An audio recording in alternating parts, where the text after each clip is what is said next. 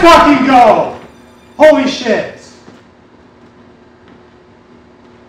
Holy fuck! Let's go! I was not expecting to get that. Let's go! Only two more 11s left.